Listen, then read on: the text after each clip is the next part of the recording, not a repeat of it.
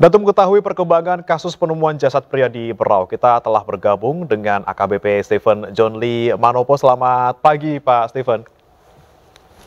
Selamat pagi Mas. Baik. Assalamualaikum warahmatullahi wabarakatuh. Waalaikumsalam Pak Stephen. Pak Stephen ini kan uh, ada luka sayatan di jenazah dan juga ada terlilit sarung di lehernya. Ini apakah sudah dipastikan uh, sebagai korban pembunuhan dan apakah sudah ada pelakunya Pak yang ditangkap? Baik, terima kasih Mas. Uh, jadi perlu kami sampaikan bahwa memang uh, betul kejadian itu pada tanggal 19 Mei 2024 kemarin hari Minggu hari Sabtu uh, hari Minggu ya. Hmm.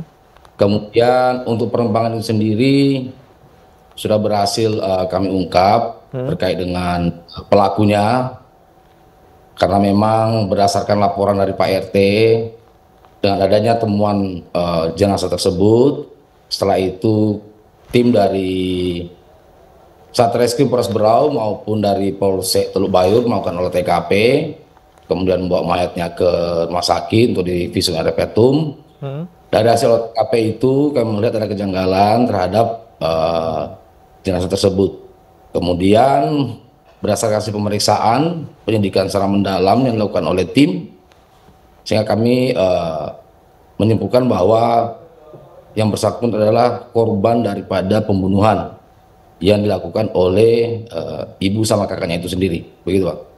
Ibu dan kakaknya sendiri yang membunuh korban ini pak ya. Berarti apa ya. dibalik motif dibalik pembunuhan ini pak? Apakah ada masalah sebelumnya di dalam keluarga ini pak?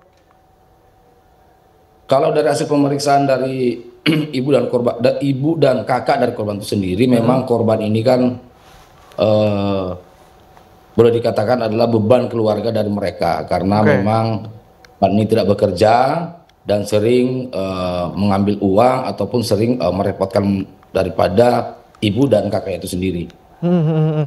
Kemudian uh, apa yang terakhir kali menjadi pemicu saat ah, hingga akhirnya korban dibunuh Pak? Apakah ada peristiwa terakhir yang kemudian memicu emosi ataukah yang uh, cukup membuat para pelaku ini gelap mata Pak?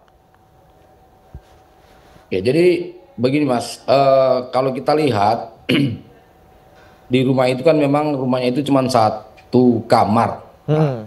Sementara ibu dan kakaknya itu, ibu dan adiknya itu, adiknya korban itu tidurnya di luar.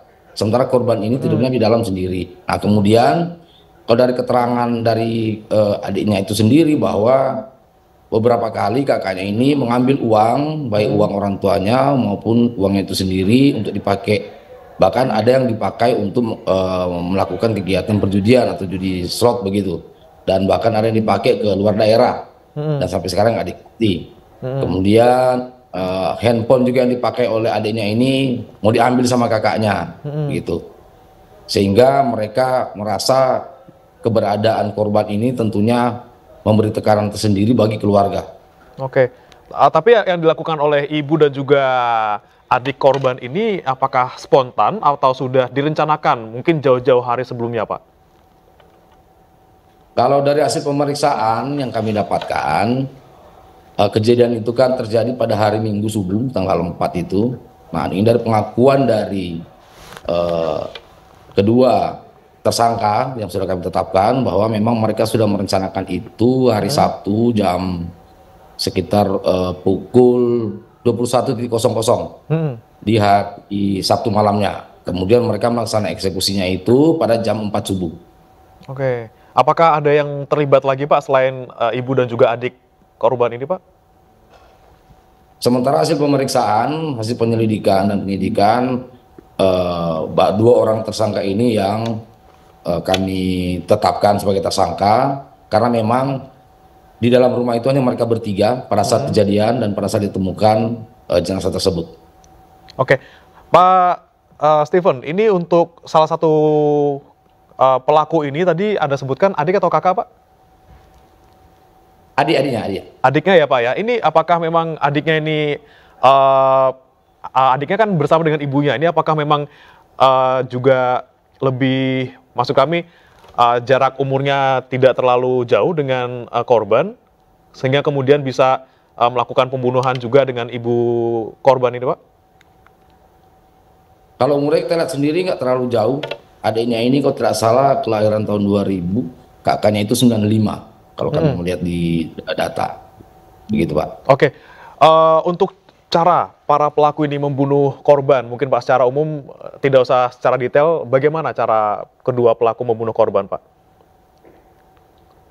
Jadi dari hasil pemeriksaan dari hasil dari keterangan kedua pelaku bahwa jadi mereka malam itu sambil menunggu uh, si kakaknya ini tidur, korban ini tidur, hmm. kemudian setelah korban ini tertidur, uh, ibu sama si adiknya ini langsung masuk kamar, hmm. adiknya ini yang tugas menyekap, kemudian ibunya lah yang uh, mengeksekusi dengan uh, menusukkan pisau ke lehernya sampai dua kali. Oke, berarti yang uh, berperan untuk membunuh korban itu adalah ibunya ya Pak ya, bukan adiknya ya Pak ya. Ibu adiknya hanya membantu ya Pak ya. Ya. Jadi okay. ide awal itu dari ibunya, betul Pak. Oke, baik. Terakhir Pak, untuk ancaman bagi kedua pelaku apakah sama Pak hukumannya?